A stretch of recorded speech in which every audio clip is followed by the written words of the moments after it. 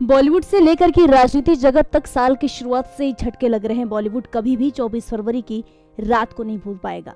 जी हाँ उस दिन बॉलीवुड की चांदनी श्रीदेवी के निधन से पूरा हिंदुस्तान जगत शोक में डूब गया था तो वहीं एक बार फिर श्रीदेवी के घर में मातम पसर गया है।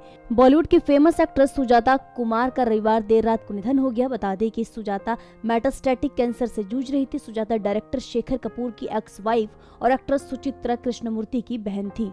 सुचित्रा ने अपनी बहन के निधन की जानकारी सोशल मीडिया पर दी। सुचित्रा ने लिखा, सुजाता कुमार अब नहीं रही। आपको बता दें, सुजाता ने 19 अगस्त 2018 को रात ग्यारह बजकर छब्बीस मिनट में इस दुनिया में आखिरी साँसें ली और आज 20 अगस्त को मुंबई के बिरले पार्ले स्थित पवन हंस शमशान घाट में अंतिम संस्कार किया जाएगा।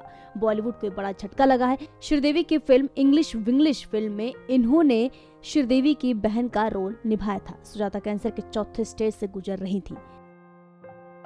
एसपीएन नाइन न्यूज़ रूम की report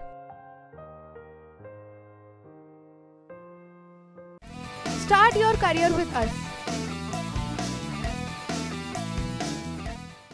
अगर आप भी बनना चाहते हैं एंकर और रिपोर्टर, वीडियो एडिटर, कैमरामैन या स्क्रिप्ट राइटर तो हमें संपर्क करें